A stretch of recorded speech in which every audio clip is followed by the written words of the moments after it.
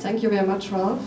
So I will just give a quick overview of Rio Plus 20, which we organized as a department, and uh, the process is ongoing after Rio. I see some permanent missions representatives here, but maybe for the other um, participants, it might be interesting to get an insight what is going on in the UN right now in the area of sustainable development. At Rio Plus 20, we had in the end two paragraphs agreed by all member states on transportation issues. The first one, uh, 132, was re-emphasizing the importance of transport for sustainable development, um, highlighting the importance of giving access to environmentally sound, safe and affordable transportation uh, worldwide.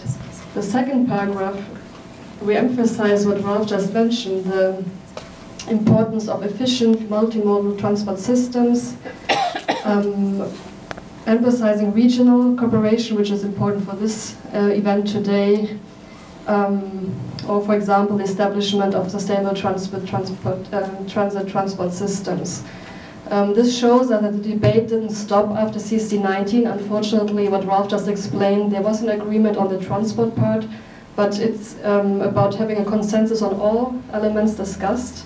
So this is not an official outcome we had in CSD19, but Rio Plus 20, the outcome has been signed by all member states. So this was an important step for transportation.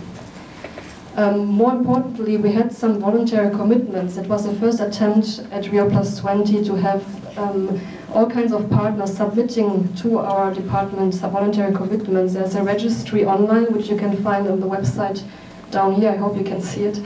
Um, and what happened was, to date, we have now 1,370 voluntary commitments registered, at valued at over 630 billion US dollar. what is more important for our event today, we had a very big commitment made by